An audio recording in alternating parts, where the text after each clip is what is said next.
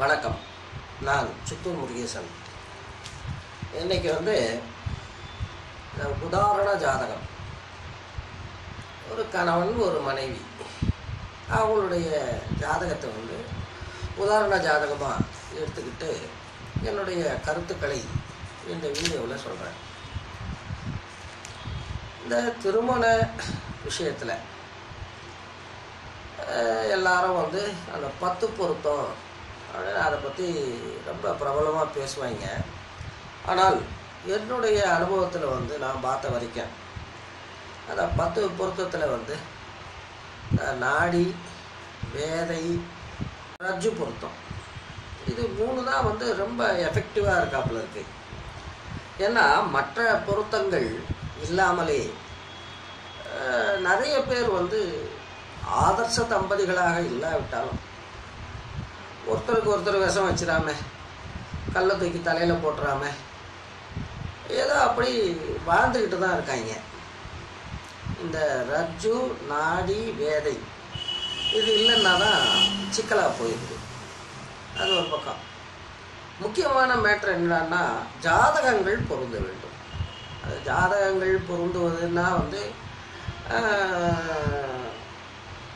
நம்ம ஜனங்க நினைக்கிறது என்னடான்னா தோஷங்கள் இருந்தால் இருவருக்கும் இருக்க வேண்டும். இல்லைன்னா ரெண்டு பேருக்கும் இருக்கப்படாது. இதுதான். ஆனால் நான் என்ன பார்க்குறேன்னா இப்போ ஜாடிக்கேற்ற மூடி ஒவ்வொரு ஆண் ஜாதகத்திலும் அவருக்கு வரப்போகிற மனைவி எப்படி இருக்கணும் அப்படின்னு இருக்குது லக்னத்திலிருந்து ஏழாம் இடத்தை லக்னமாக வச்சுக்கிட்டு பார்த்தா அங்கே வந்து அவருடைய மனைவி தெரிய வேண்டும். அதே போல தான் பெண் ஜாதகமும். பெண் ஜாதகத்தில் வந்து இந்த ஏழாம் பாவத்தை லக்னமாக வச்சுக்கிட்டு பார்த்தா அங்கே வந்து அந்த பெண்ணின் கணவர் தெரிய வேண்டும். அது நல்லதோ கெட்டதோ அது வேற கதை. அதாவது ஒரு லெட்டர் அது போய் சேர வேண்டிய விலாசத்துக்கு சேர்ந்தாச்சுன்னா பிரச்சனை கிடையாது. அதை வந்து கிழிச்சாலோ தண்ணியில் போட்டாலோ ஒன்றும் ஆகிறதில்ல தவறான விலாசத்துக்கு சென்றால் அங்கே தான் வந்து சிக்கல் வரும். இப்போ முதல்ல வந்து இந்த ஆண் ஜாதகம் ஸ்க்ரீனில் வருது பாருங்க.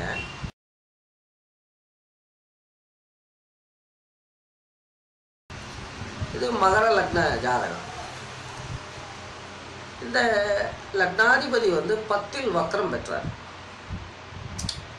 அதாவது இவருக்கு இல்லை வேலை உத்தியோகம் வியாபாரம் அந்த விஷயத்தில் பிரச்சனையே இல்லை. எப்படி இது? ஒன்று இரண்டு கூடையவர் பத்தில் நின்னா ஒர்க்கஹாலிக்காக இருக்கணும். ஆனால் இவர் வந்து ஏதோ போயிட்டுருக்கு பாஸ் அப்படிங்கிறார். அது காரணம் என்னென்னா ஒரு கிரகம் வக்ரம் பெறும்போது அது வந்து முதல்ல சாதாரணமாக நின்ன பலனை தான் தரும். அதுலேயும் இந்த மகரம் என்பது வந்து ராசி சக்கரத்தில் பத்தாது இவங்க வந்து கூலி கிடைக்குதா இல்லையா? சம்பள உயர்வு கிடைக்குதா இல்லையா? போனஸ் கிடைக்குமா? இதெல்லாம் பார்க்க மாட்டாங்க. இதை பகவத்கீதையில் சொல்கிறாப்புல கர்ம யோகிகள் இவங்க. இவர்கிட்ட அது தொடர்பாக எந்த கம்ப்ளைண்ட்டும் இல்லை. இந்த கிரகங்கள் வக்ரம் பெறும்போது முதலில் சாதாரணமாக நின்ற பலனை தரும். வாழ்வின் மறுபாதியில் தான் அந்த கிரகம் வந்து வக்ரம் பெற்ற பலனை தரும். அது ஒரு பக்கம். இங்கே வந்து சூரிய சுக்கிர சேர்க்கை இருக்கிறது. மகர லக்னத்துக்கு அஷ்டமாதிபதி வந்து சூரியன். வந்து சூரிய சந்திரர்கள் வந்து உயிர்களுக்கு தாய் தந்தை மாதிரி இவங்களுக்கு அஷ்டமாதிபத்தியம் கிடைச்சாலும் கொல்ல மாட்டாங்க அப்படின்னு ஒரு விதி இருக்குது ஆனால் ஒன்று உயிர் போகாது. மற்றபடி அது தொடர்பாக எல்லாவித சிக்கல்களையும் அது தரும். வந்து சுக்கரன்னா களத்திரக்காரகன் தெரியும். ஆனால் சுக்கரன் வந்து மூணில் இருக்கக்கூடாது இங்கே மூணில் இருக்காது உச்சம் பெற்று இருக்கிறார். அதாவது தப்பான இடத்துல நின்ற கிரகம் பலம் இழக்கணும். இங்கே வந்து அவர் உச்சம் பெற்று இருக்கிறார். இது போதாதுன்னு அஷ்டமாதிபதி வேற சூரியன் வேற சேர்ந்திருக்காரு. இது சிக்கல். இது ஒரு பக்கம். அடுத்தது இந்த மகர லக்னத்துக்கே உண்டான இன்னொரு சிக்கல் என்னடான்னா இவங்களுக்கு வந்து கலத்திராதிபதி சந்திரன். சந்திரன்னா வந்து இன்ஸ்டபிலிட்டி அவர் வந்து ஆறு மணி நேரத்துக்கு ஒரு முறை நட்சத்திர பாதம் மாறிடுவார். அதே போல் டுவெண்ட்டி ஃபோர் ஹவர்ஸ் நட்சத்திரம் மாறுவார். ரெண்டே கால் நாளைக்கு ஒரு முறை ராசி மாறுவார். பதினான்கு நாட்களுக்கு ஒரு முறை தன்னுடைய இயல்பையே மாற்றிக்குவார் இப்படி தான் போயிட்டுருக்கோம். இப்போ ஒரு கணவன் மனைவி என்றால் இப்போ ஒரு இருபத்தஞ்சி வயசில் கல்யாணம் நடக்குதுன்னா அட்லீஸ்ட் ஒரு இருபத்தஞ்சி வருஷமாவது ஒரே விதமான மனநிலையோடு வாழ வேண்டும். இப்படி ஆறு மணி நேரத்துக்கு ஒரு முறை ஃப்ளக்சுவேஷன் வந்துட்டு இருந்தால் என்ன ஆகும்? இப்போ பவரில் ஃப்ளக்சுவேஷன் வருதுன்னு தான் ஸ்டெபிலைசர் வைக்கிறாங்க. பவர் ஃப்ளக்சுவேட் ஆகிட்டே இருந்தால் என்ன ஆகும்? ஐசி போயிடும். அப்படி ஒரு அமைப்பு இங்கே இருக்குது இதில் களத்திராதிபதி போய் அஞ்சில் இருக்கார் பாருங்க. இது அஞ்சு என்பது பூர்வ புண்ணியம். அதாவது கடந்த பிறவியில் இவருடைய மனைவி யாரோ அவங்க இந்த பிறவியிலையும் வந்து இதே போல் தாய் வீட்டில் பதினாலு நாள் புகுந்த வீட்டில் ஒரு பதினாலு நாள் இப்படி அலக்கழிக்கணும். இது கூட ராகு வேற இருக்கார். இதெல்லாம் சிக்கல். ஐந்தாம் இடம் என்பது புத்திரஸ்தானம். ஒரு உயிர் கருவாகி உருவாக வேண்டும் என்றால் அது வந்து பத்து மாதம் பிடிக்கும். இந்த சந்திரன்லாம் வந்து ரெண்டே கால் நாளைக்கு ஒரு தடவை ராசி மாறிடுவார். கூட ராகு வேற இருக்கார். இந்த சந்தான விஷயத்திலையும் சிக்கல் இருக்கிறது. இப்போ அடுத்தது இந்த செவ்வாய். இவர் வந்து நான்கு நான்குக்குரிய செவ்வாய் வந்து பதினொன்றில் ஆட்சி பெற்று அங்கே வக்ரம் பெற்றார். இப்போ நான்காம் இடத்தில் புதன் இருக்கிறார் பாக்யாதிபதி. இது சுகஸ்தானம். இது ஒரு ப்ளஸ்ஸு ஆனால் இந்த புதன் நின்ற ராசியாதிபதி செவ்வாய் வந்து பதினொன்றில் இருக்கார். ஆனால் அவர் வக்ரம் இவரோடு கேது வேற சேர்ந்தார். வந்து இந்த செவ்வாயை பற்றி நிறைய முறை சொல்லியிருக்கேன் நோய் எதிர்ப்பு சக்தியை தரக்கூடிய அந்த வெள்ளை அணுக்கள் உற்பத்தி ஆகிற இடம் எலும்பின் உள்ளே இருக்கக்கூடிய மச்சை போன் மேரோ அந்த போன் மேரோவுக்கு காரகன் செவ்வாய். அவரே வக்கரமாக இருக்கார். அதாவது வக்ரம் என்றால் நேர் எதிரடியான பலனை தரும். செவ்வாய் வந்து நல்லா நின்னா அவன் வந்து எலும்பு மஜ்ஜை நல்ல நிலையில் இருக்கும். அந்த வெள்ளை அணுக்கள் பெரிய அளவில் உற்பத்தி ஆகும். இப்படி. அவர் வக்கரமாக இருக்காருன்னா அங்கே வந்து அந்த வெள்ளை அணுக்களின் உற்பத்தி குறையலாம் எண்ணிக்கை குறையலாம். இதனால் எந்த நோய் வேணும்னா வரலாம். செக்யூரிட்டி இல்லாத வீட்டுக்குள்ளே எவன் வேணும்னா நுழையலாம் அப்படி ஒரு அமைப்பு. இங்கே அடுத்தது வந்து மூன்று பன்னிரெண்டுக்குடைய குரு இவர் வந்து பன்னெண்டில் ஆட்சி பெற்றிருக்கிறார். குரு வந்து பன்னெண்டில் இருந்தால் ஐயருக்கு பணம் கொடுக்கணும் அவ்வளோதான் கோயில் குளம் ஹோமம் யாகம் இப்படியாக. இந்த பனிரெண்டு என்பது தாம்பத்தியத்தை காட்டக்கூடிய இடம். இந்த இடத்துல வந்து குரு இருக்காருன்னா கிருஷ்ணாராமான்னு தனியப்படுத்திட்டு இருக்க வேண்டியதுதான். அப்படி ஒரு அமைப்பும் இங்கே இருக்கு. இது இந்த ஆணின் ஜாதகம். இப்போ வந்து இந்த பெண் ஜாதகத்தை பார்ப்போம்.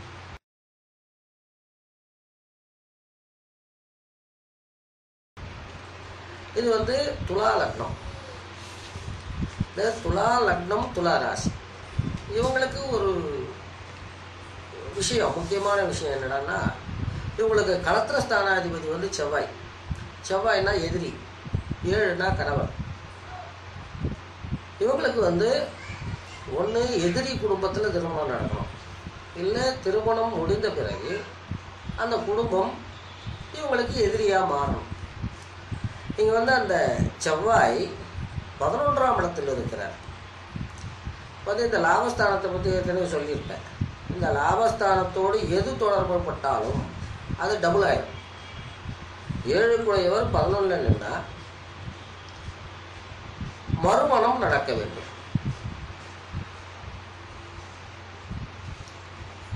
அதுக்கு தான் வந்து இங்கே சிக்கல்கள். இதே வந்து அந்த ஆண் ஜாதகத்தில் பார்த்தால் கலத்திராதிபதி சந்திரன்.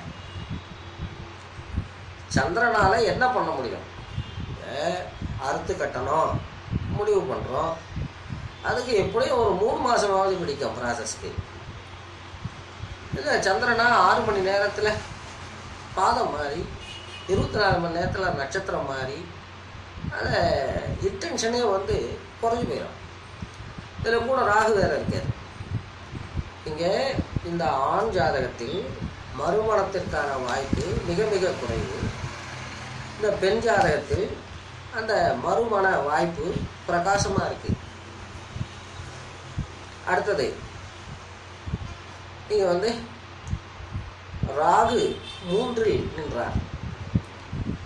கேது ஒன்பதில் நின்றார். இவன் ஒன்பதுன்னா அப்பா. மூன்று என்பது தைரியஸ்தானம். இந்த பெண் தன் மனோதைரியத்தால் கணவனுடன் முரண்பட்டு தாய் வீட்டுக்கு வரப்போலாம் அங்கே வந்து அந்த பெற்ற தந்தைக்கு வந்து விரக்தி தான் ஏற்படும். ஒன்பதில் கேது இருக்காரு. கேதுன்னா ஞானகாரன் அடுத்தது சனி. இவர் ஐந்து நான்கு குடையவர். நான்கில் வக்கரம் பெற்றார். இப்போ சனி நாலாம் இடத்துல சாதாரணமாக நின்னார். அது என்னதான் பழஞ்ச வீடாக இருந்தாலும் இடிஞ்சு விழ சித்தமாக இருக்கிற வீடாக இருந்தாலும் ஒரு பெரிய குடும்பம். ஏதோ இருக்கிறத வச்சு ஓட்டணும். ஆனால் அங்கே வந்து அவர் வக்கரமாயிட்டார். அப்போ என்ன அர்த்தம்? இவங்க வந்து தனியாக வாழணும். நாலு பேருக்கு அடிமை சேவை செய்ய வேண்டிய நிலைமை இல்லை. இப்படி தான் எடுத்துக்கணும். அதே போல் இந்த சனி வக்கரம் என்ற கோணத்தில் பார்க்கும்போது அங்கே வந்து நரம்பு கால் ஆசனம் இவை தொடர்பான சிக்கல்கள். இது வந்து ஆசனம்னா வந்து அது ஒன்றும் கேவலம் கிடையாது. இப்போ வண்டிக்கு வந்து சைலன்சர் இருக்குது இப்போ நாம் இந்த காமெடி ட்ராக்லேருந்து ஜேம்ஸ் பாண்ட் படம் வரைக்கும் பார்த்துருக்கோம் அந்த வாகனத்தோட சைலன்சரில் எதையாவது டென்னிஸ் பந்தையோ ஆப்பிளையோ செருவி வச்சுருவாங்க. வண்டி ஸ்டார்ட் ஆகாது. அந்த அளவுக்கு முக்கியமான மேட்டர் அது. அந்த சனியே வந்து வக்கரமாக இருக்கார். இதனால் வந்து என்ன ஆகும்னா அகால நிதிரை சோம்பல் இப்படி எல்லாம் போகும். இப்போ அடுத்தது சூரியன். இவர் வந்து பத்தில் இருக்கார் தொழில்காரகன். தொழில் ஸ்தானத்தில் நிற்கிறார் அதுவும் வந்து அவர் லாபாதிபதி. இந்த அம்மா வந்து ஒரே நேரத்தில் ரெண்டு வேலை செய்யணும். அடுத்தது புதன். ஒன்பதுக்குடைய புதன் பதினொன்றில் இருக்கிறார். அப்பானால் இவங்களுக்கு லாபம் நடக்கணும். அதே போல் மூன்றுக்குடைய குரு விவரம் பதினொன்று இருக்கார். சகோதரத்தால் லாபம் ஏற்பட வேண்டும். இப்போ வந்து ஒரு வீட்டில் பிறந்த பெண் வந்து நல்லபடியாக வாழுதுன்னு வைங்க.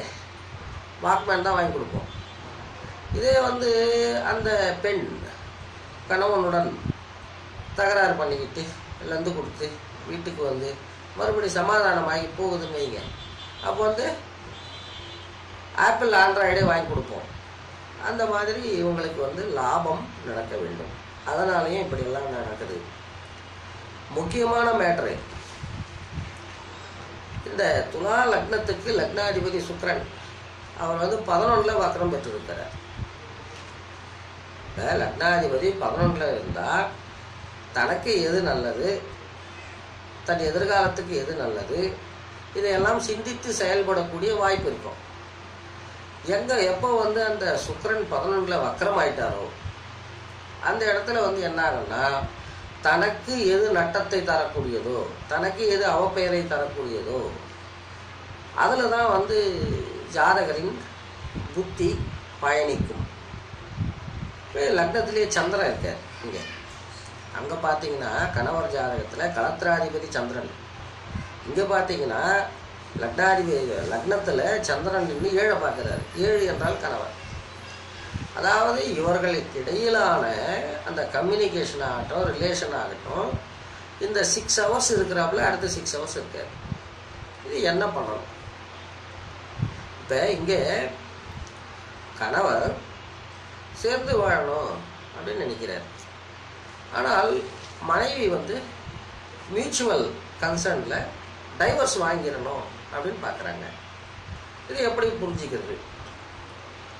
இப்போ இந்த கணவர் ஜாதகத்தில் பார்த்தீங்கன்னா வந்து விரயத்தில் குரு ஆட்சி பெற்றிருக்கிறார். Too much is always bad அப்படின்னு சொல்லுவோம். அதாவது செலவில் வந்து நல்ல செலவும் வரும் கெட்ட செலவும் வரும்.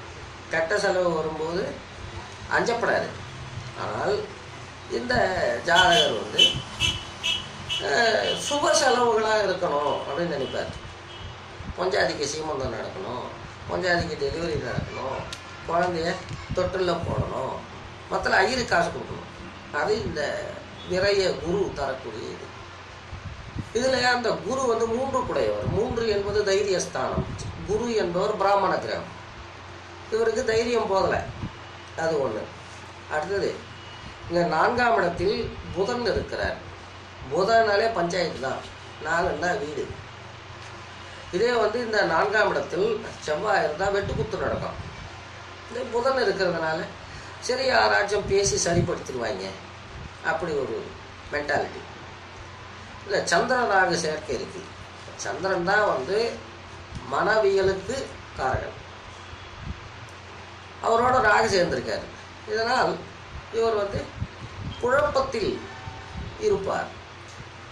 எப்படி போகிறது மியூச்சுவல் கன்சர்னில் டைவர்ஸ் கொடுத்துட்டா ஊரில் என்ன பேசுவாங்க? நமக்கு அப்புறம் மறுமணம் நடக்குமா? ஒருவேளை அந்த அம்மாவுக்கு மறுமணம் நடந்து அந்த அம்மா ரோட்டில் நடந்து போனால் நம்ம பற்றி தானே கேவலமாக பேசுவாங்க? இப்படி போட்டு குழப்பிக்கிறது. இப்படியெல்லாம் இருக்குது இந்த ஜாதகத்தில். இதே இந்த பெண் ஜாதகத்தில் பார்த்தால் ஏற்கனவே சொன்னதை போல மூணில் ராகு இருக்கார் மனோதைரியம். ஒம்போதில் கேது இருக்கார். எவன் என்ன நினைச்சா எனக்கு என்னடா? இப்போ ஒன்பது என்பது எதிர்கால சிந்தனைகளை குறிக்கும். அந்த இடத்துல வந்து கேது உட்காரும்போது எவன் என்ன வேணா நினச்சிட்டு போ எனக்கு என்ன? அப்படிங்கிற ஃபீல் அதே போல் தொழில்காரகன் அவர் வந்து தொழில் ஸ்தானத்தில் இருக்கார். அதே போல் இந்த லாபஸ்தானம் ஹவுஸ்ஃபுல் இங்கே வந்து சுக்ரன் இவர் வந்து பக்ரமாக இருக்கார். இப்போ சகோதரத்தால் லாபம். தாய்மாமன் வகையாவால் லாபம். இளைய சகோதரத்தால் லாபம். எல்லாம் ஓகே. ஆனால் களத்திரகாரகன் வக்ரம் பெற்று பதினொன்றில் நின்றதால் அந்த சுகம் என்பது பல்ப் வாங்குது இந்த மாதிரி ஜாதகம்லாம் வந்து வரும். இதுக்கெல்லாம் வந்து எப்படி ஒரு தீர்வு தருவது? அதை வந்து இன்னொரு சந்தர்ப்பத்தில் இன்னொரு வீடியோவில் சொல்கிறேன் நன்றி வணக்கம். சித்தூரிலிருந்து முருகேசன்.